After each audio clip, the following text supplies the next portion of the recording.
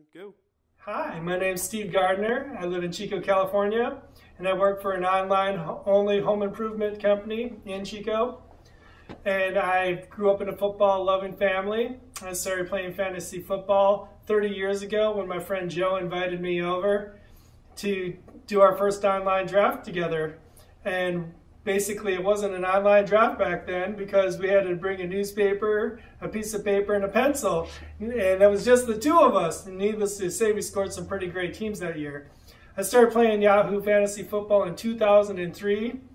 I managed 56 teams. I've won 12 championships. I have seven second place finishes and 10 third place finishes for a total of 29 trophies um, because I was dominating the Yahoo fantasy leagues, I started networking with some of the best players on Yahoo.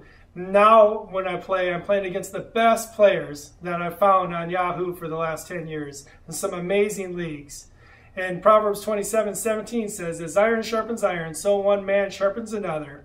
And I need them to make me the best fantasy football player I can be. And I need you to vote Steve Gardner for Toyota's Legends of Hall of Fame Fantasy Football 2013 this year. And I just thank you so much.